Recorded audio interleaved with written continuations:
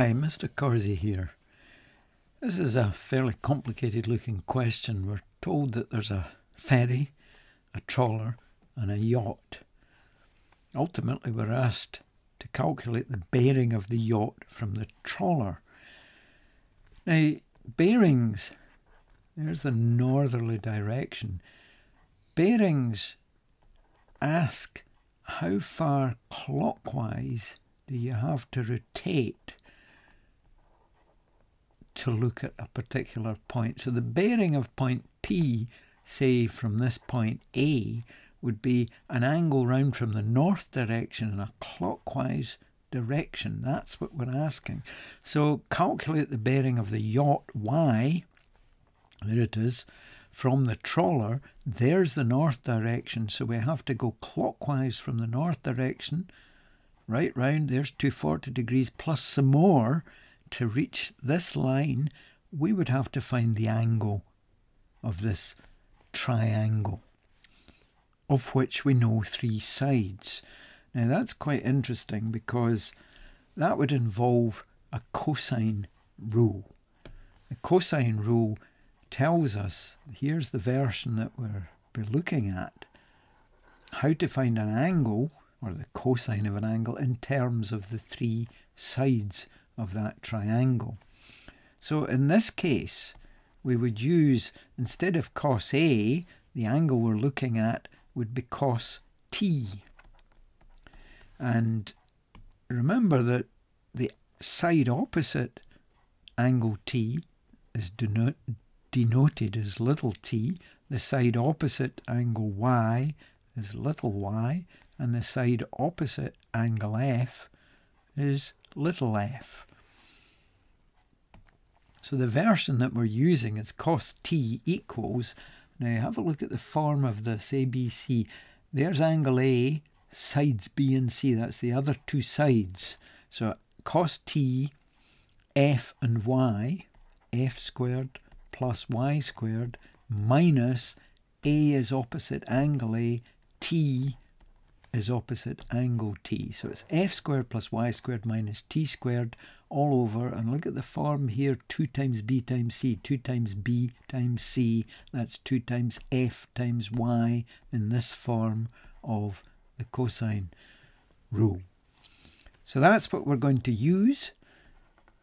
The cosine of angle t, this angle here, is equal to f squared that's 5.6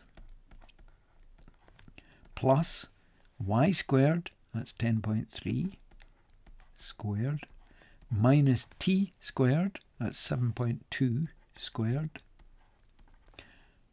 all divided by 2 times f, which is 5.6, times y, which is 10.3. So there's the calculation we have to do to find the value of the cosine of t. So let's go ahead and do this calculation. So on the top of the fraction, we've got 5.6 squared plus 10.3 squared plus, oh, minus, sorry, 7.2 squared, 7.2 squared. Now that's the whole of the top line. Let's just find out what that comes to. It's 85.61. So that top line answer, there it is, the answer, we have to divide by the whole of 2 times 5.6 times 10.3. So that's that answer, 85.61, that's the top line, divided by, and I've put this in brackets so that we get the whole of the bottom line, 2 times 5.6 times 10.3. That all comes to 0 0.74211 and so on.